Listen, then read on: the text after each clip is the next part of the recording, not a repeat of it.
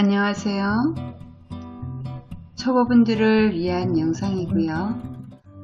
지금 마코를 잡아보시는 분들도 충분히 따라 하실 수 있는 기초 패턴으로 우리 아기 목도리 뜨기를 참고해 보실게요. 뜨기가 쉬워서 태교 뜨개로도 추천드리고요. 또 색깔을 이렇게 잘 맞추시면 크리스마스 선물용으로도 활용하시면 좋으실 거예요. 네, 바늘은 3.5에서 5mm 사이로 치면 되는데요. 지금 이 작품은 3mm로 어, 뜨기를 진행했고요. 길이는 총 60cm 정도 나옵니다.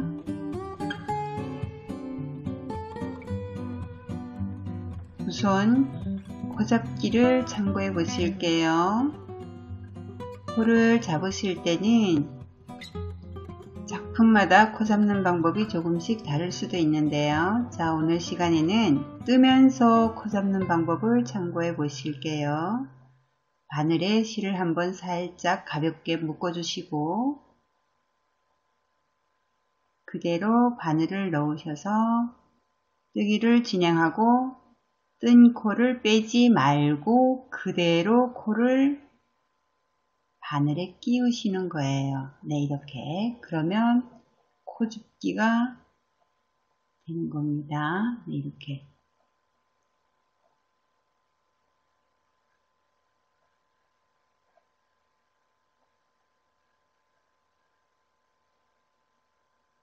코를 뜨면서 바로 바늘에 끼우기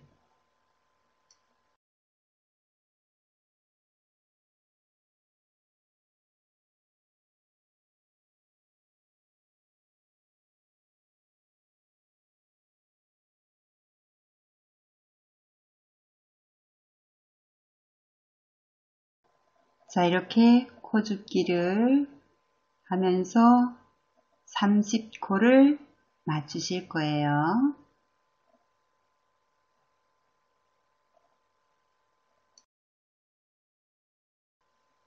자, 30코를 다 잡고 난 다음 첫 줄을 떠나가실 때 첫 코부터 그대로 또 나가시면 됩니다.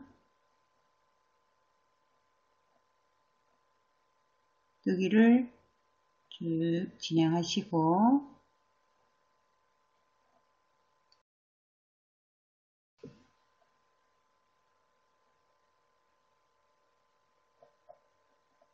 그대로 떠나가시면 되고요.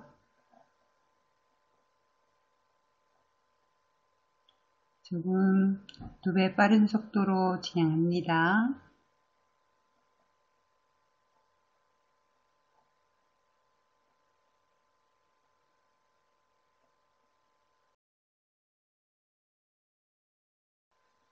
자 이렇게 첫 줄을 다 뜨고 난 다음 돌려잡고 첫 코를 뜨지 말고 두 번째 코부터 뜨기를 진행하시면 됩니다. 자, 이렇게 뜨기를 진행하시고요.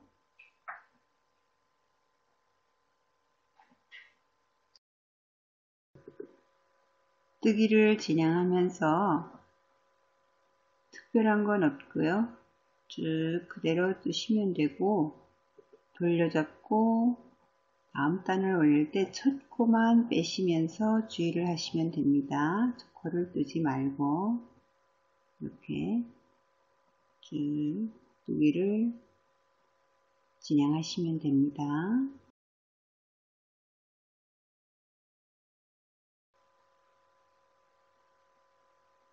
뜨기를 이렇게 진행하시고 자 원래 뜨시다 보면 실 연결하기가 나올 수 있는데요.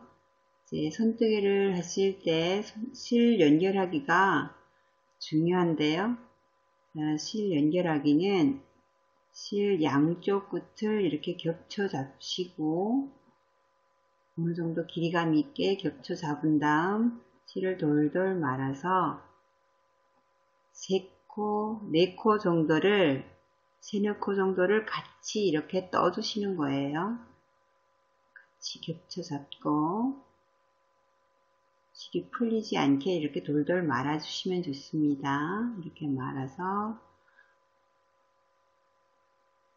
떠주고 난 다음 그대로 뜨기를 진행합니다. 일단은 뜨기를 진행하고 난 다음 이렇게 보여지는 실 끝은 그대로 두시고 쭉 먼저 떠주시고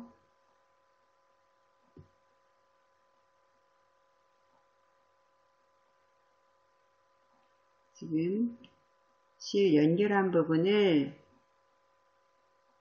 그대로 이렇게 떠주시면 됩니다. 이 부분도 그대로 떠주시고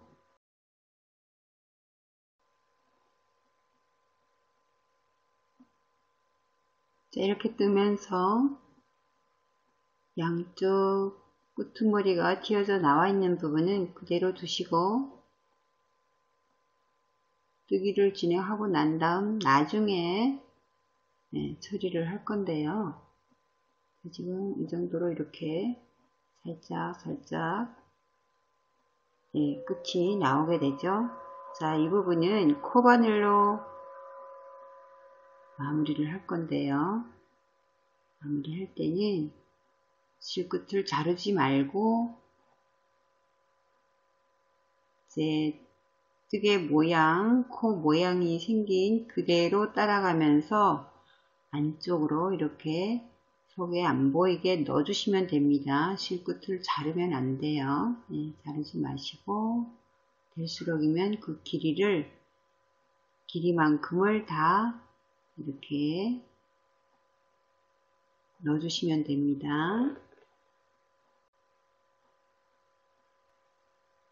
이렇게 실 연결하는 방법을 참고해 보셨고요. 자, 이런 방법으로 손뜨개 했을 때 실 매듭을 묶지 마시고 연결하는 방법을 활용하시면 됩니다.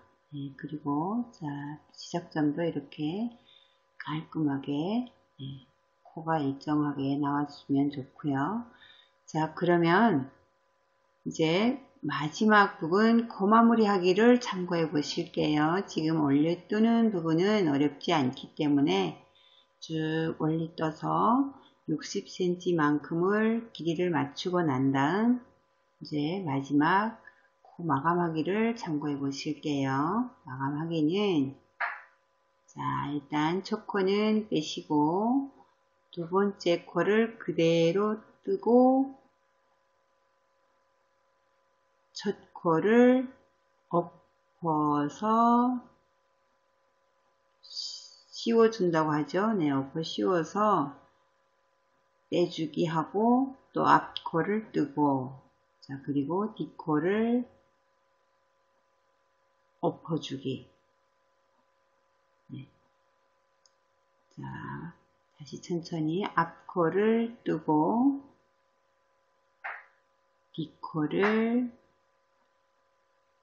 앞코에 엎어주기, 엎어 씌워주죠. 네, 이렇게. 이렇게 하면 코 하나가 줄어들게 됩니다. 이런 방법으로 코 마감하기를 진행합니다.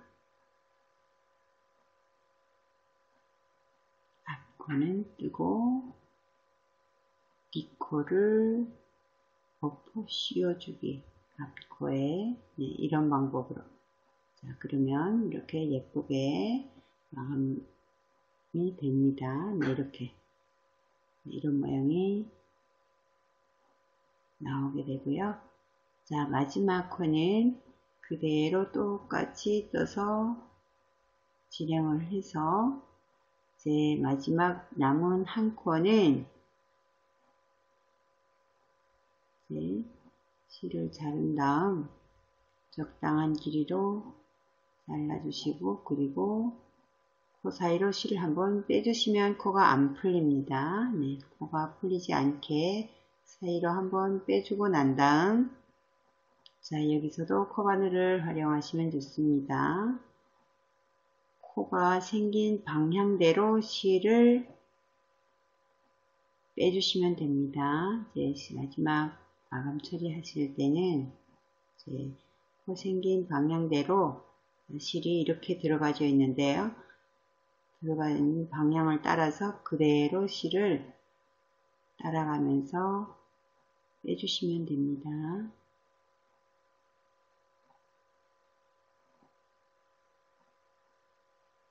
실끝은 돌돌 말아주면서 다음 코에 그대로 빼주기 코 생긴 방향대로만 따라가면서 빼주시면 됩니다.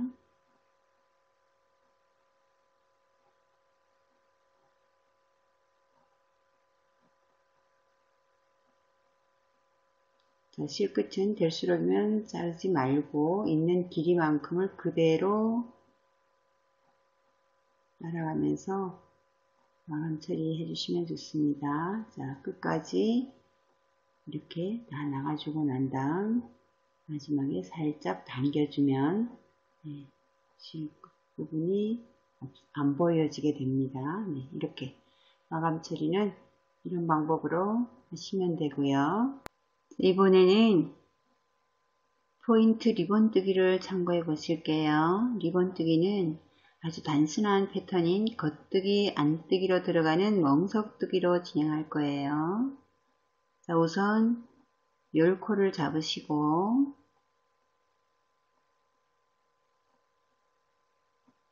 처음에 시작할 때랑 똑같이 열코 잡기를 진행하시고 네, 똑같습니다. 똑같이 이렇게 진행하고 자 코를 잡고 난 첫 줄에서 첫 코는 항상 떠주시는 거예요.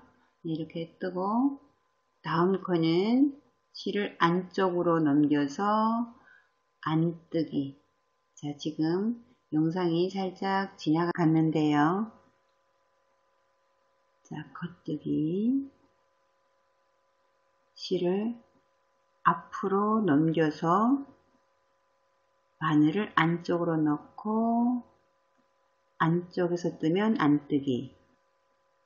다시 실을 바깥쪽으로 그대로 뜨시면 겉뜨기. 자 이렇게 안뜨기 겉뜨기를 번갈아 가면서 뜨는 뜨기를 멍석뜨기라고 해요. 자, 멍석뜨기이고요. 마지막 코는 안뜨기로 끝나게 됩니다. 네.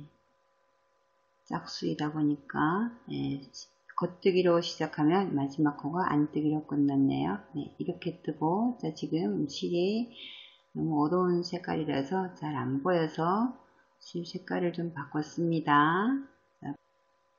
자, 돌려 잡으시고 다음 줄을 뜰 때 첫 코는 패스하고 멍석 무늬를 이해하실 건데요. 멍석 무늬는 자, 밑에 단에서 안 뜨기로 되어 있는 코는 겉뜨기로 뜨고 다시 실을 넘겨서 겉뜨기로 되어 있는 코는 안 뜨기로 뜨고 이렇게 무늬가 지그재그로 서로 교차하면서 들어가게 되어 있는 뜨기를 멍석뜨기라고 해요. 이제 겉뜨기는 겉뜨기대로 안뜨기는 안뜨기대로 그대로 뜨면 고무단뜨기가 되고 서로 이렇게 무늬를 지그재그로 바꿔가면서 뜨는 무늬는 멍석뜨기가 되는 겁니다. 자 이렇게 마지막 코가 겉뜨기로 끝나게 되면 돌려 잡았을 때 안뜨기로 보여지게 됩니다. 첫 코가 되겠죠? 자 그러면 자 이번에는 첫 코 빼기를 보실 건데 첫 코가 안뜨기로 되어 있을 때는 안뜨기로 그대로 빼시고 다음 코가 지금 밑에 단이 겉뜨기 코로 보여지고 있는데요. 이거를 안뜨기로 떠야 되니까 실을 넘기지 말고 그대로 뜨기를 안 뜨기로 진행하시면 됩니다.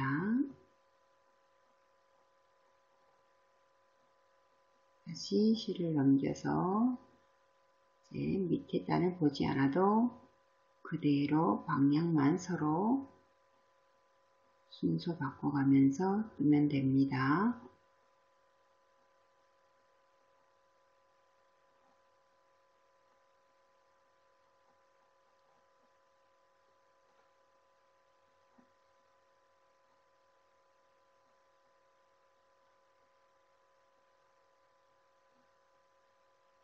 자, 이렇게 마지막 코가 안뜨기로 끝나게 되면 또 돌려잡았을 때는 겉뜨기로 보여지게 되겠죠. 첫 코가. 자, 지금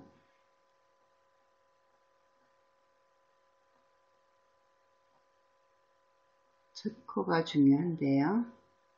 첫 코를 빼실 때, 자, 지금 겉뜨기로 보여지고 있죠? 겉뜨기로 보여질 때는 또 그대로 겉뜨기로 빼시면 됩니다. 코를 겉뜨기 뜨기로 빼고, 다음 코가 안 뜨기로 돼 있으니까 겉뜨기로 뜨고,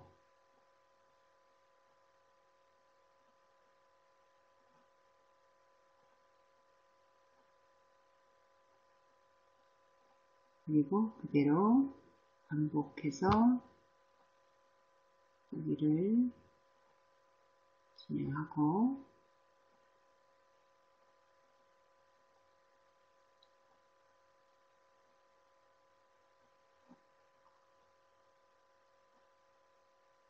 이제 마지막 코가 겉뜨기로 끝나면 돌려 잡았을 때는 안뜨기로 안뜨기로 보여질 때는 안뜨기로 코를 빼고 다음 코를 그대로 안뜨기로 뜨시고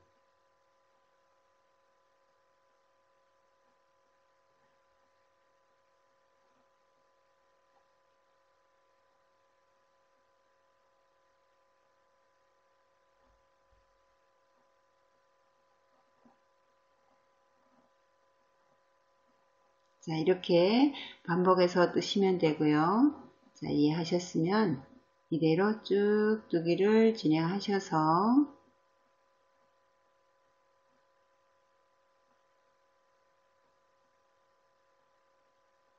자, 이렇게 멍석 무늬로 보여지게 됩니다.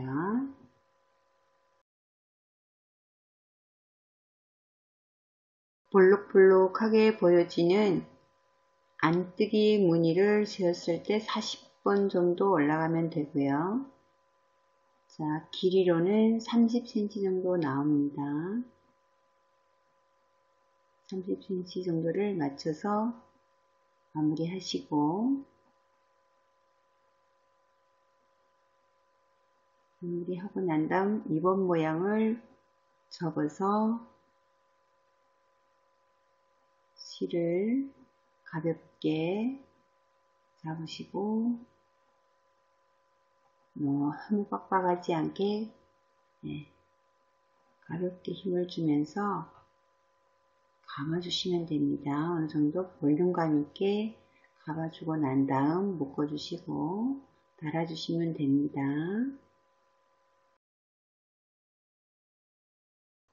예쁜 단추도 이렇게 포인트로 하나 달아주시고 그리고 이렇게 묶어준 다음 뒷면에는 맞단추로 자기 위치를 고정할 수 있게 달아주시면 좋습니다. 이렇게 해서 예쁘게 사용하시면 됩니다.